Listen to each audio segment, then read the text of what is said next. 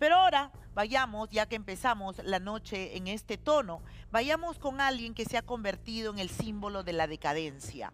Angie Gibaja es una persona que siempre ha venido y nos ha dicho que ella ya está libre de las drogas. Casi nunca ha querido reconocer el uso de las drogas. En su entorno familiar, algunos de ellos no lo han querido reconocer, no lo han querido asumir. Ella siempre dice que ya está limpia Ahora, en estos últimos días, antes que termine el mes de enero, ella viene anunciando que estará de vuelta en la televisión. Desde el veintitantos de enero, la prensa viene diciendo esto. Angie Gibaja se destapa y dice que está de vuelta. Este es su sexy outfit para el regreso. No sabemos en qué canal, en qué programa de televisión, con qué emprendimiento televisivo. No lo sabemos. Eso es lo que ella dice, que está de vuelta, que es otra, que encontró su curación en el camino de Dios, en los testigos de Jehová. Es lo que ella dice. Lo que nosotros les vamos a mostrar a continuación, ¿ves? ¿Qué fue de la vida de Angie Gibaja tras convertirse en testigo de Jehová? Nosotros se lo vamos a contar ahora. Tenemos unas imágenes que nos llegaron cuando nosotros estábamos de vacaciones. Imágenes de diciembre.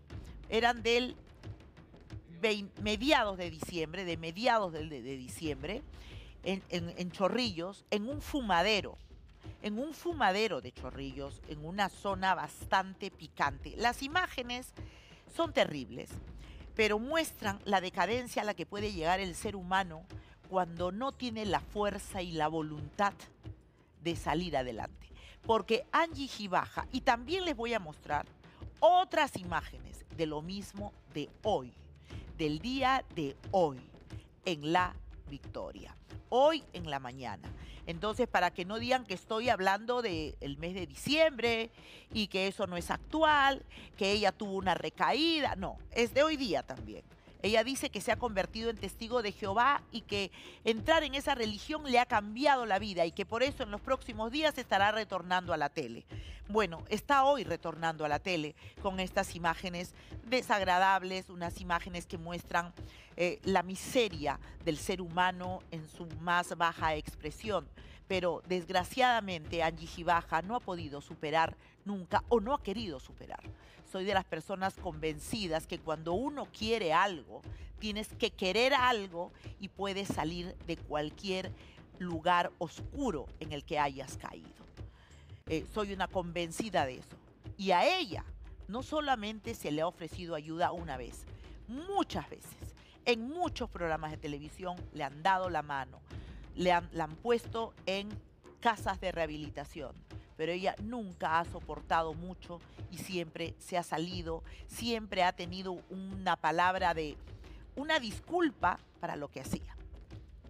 Les dejo estas imágenes que son, como dije, de diciembre, mediados de diciembre y de hoy en la mañana. La polémica Angie Gibaja aparentemente seguiría en los malos pasos, Hoy la vimos en la victoria fumando de esta pipa, que no sería precisamente de la paz. Una paz que supuestamente hace medio año le había llegado cuando anunció su conversión a la religión, borrándose los tatuajes que la atormentaron, convirtiéndose en una mujer fortalecida en la palabra que anunciaba su retorno a las pantallas.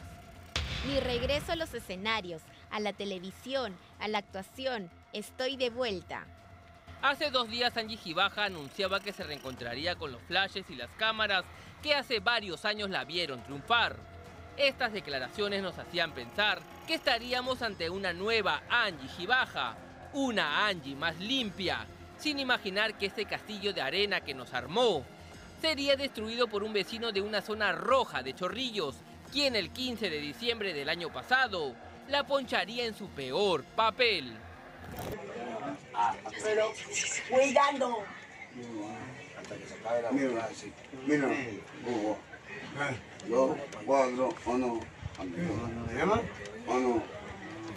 Según el vecino que nos pasó el video, Angie estaría en el asentamiento humano Alto Perú, uno de los lugares más peligrosos de Lima por su venta de droga. En el video observamos que la modelo tiene mucha confianza con estos hombres, a los que incluso les enseña las huellas de las balas que casi la matan. Mientras se siente atraída por el tatuaje de este sujeto, dentro de esta guarida muy conocida en el argot popular como fumaderos. Observen que tiene Angie en la mano, parecería una pipa, muy común en el consumo de crack y pasta básica de cocaína, además de esta botella de alcohol de dudosa procedencia. Un ambiente asqueroso, un ambiente lamentable que evidentemente no figura en sus redes, porque siete días después, Angie se mostraba muy caritativa por Navidad. Dos mundos paralelos, dos Angies distintas en una misma realidad. Por un lado, todo este tiempo la Jibaja nos vendía que estaba trabajando, apoyando a emprendedores de barrio, porque ya no era la mujer a la que el equipo de Magali TV La Firme la buscaba en los fumaderos del Callao, o la protagonista de una balacera en la que casi muere hace dos años. Y es que Angie al parecer jamás asume su adicción. Recordemos la última vez que vino a nuestro set y negaba el consumo de drogas.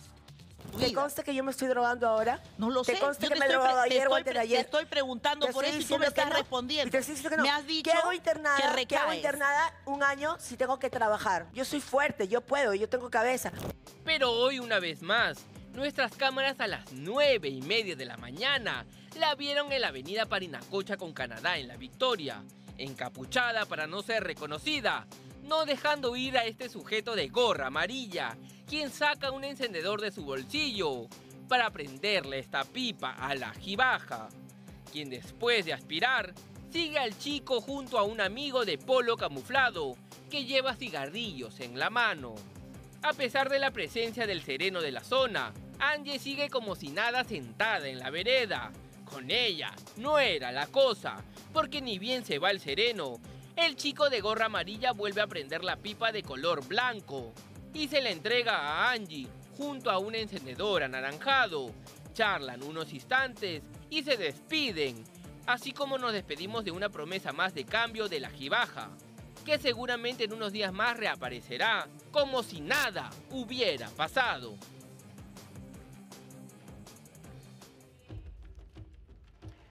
Esa es Angie Gibaja. Estas imágenes pertenecen al día 15 de diciembre, estas donde se ve. Eso es un fumadero. Creo que los periodistas que nosotros hemos siempre descendido hasta los infiernos en busca de información, pues conocemos bien, muchísima gente sabe cómo lucen los fumaderos. Esto nos lo alcanzó un vecino de la zona que la veía llegar, parece, eh, seguido por ahí, y nos alcanzó esto, ¿no? De hecho, están compartiendo, ese es un lugar sucio, asqueroso, cochino, sórdido, como son los fumaderos, ¿no? Eh, ella que dice que ha cambiado, que está en el camino correcto, que pronto va a volver a la televisión, pero sin embargo ahí, mientras vemos que ahí al costado, en un momento se puede ver, nosotros lo hemos visto en cámara lenta, alguien está como que envolviendo droga ahí al costado, ¿no? Y bueno, esos son fumaderos pues de pasta básica, crack.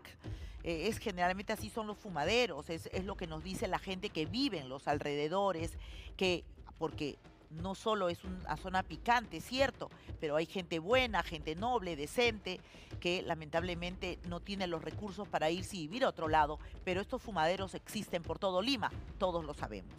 Y lo de hoy es pues lo que acabamos de ver. En la mañana de hoy, en la victoria, parece que el, tipo del sombrerito parece ser, eh, no sé, vendedor de drogas, ¿será, no? Supongo, me imagino, no sé. O su amigo que le está invitando, pero tiene una especie de pipa, no sabemos si es marihuana, por eso parece marihuana, ¿no? Porque es como, tiene como un, no sé, tiene algo en la mano, no sé, no sé qué es, no, no puedo distinguir exactamente, no sé, no he sido fumadora de crack ni de pasta, entonces no, no, no puedo ni de marihuana, entonces no puedo distinguir, no sé reconocer. Tal vez alguien que, que tenga más calle que yo podría decirme, ahí lo que está fumando no sé qué, es un cigarro. Podría ser, o podría ser pasta. La pasta también se fuma, creo, como si fuera un cigarrillo, ¿no? ¿Sí? ¿Es cierto? Tú tienes calle, pues, tien- tienes barrio, esquina.